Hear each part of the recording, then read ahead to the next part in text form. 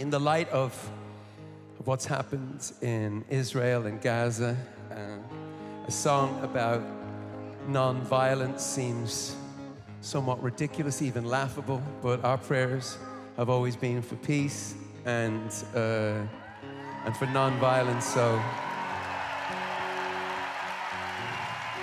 But our hearts and our anger, you know where that's pointed. So sing with us. And those, those beautiful kids at that music festival.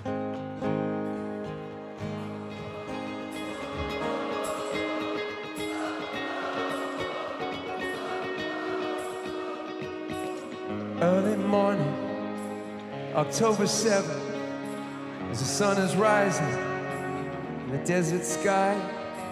Stars of David, they took your life, but they could not take your pride.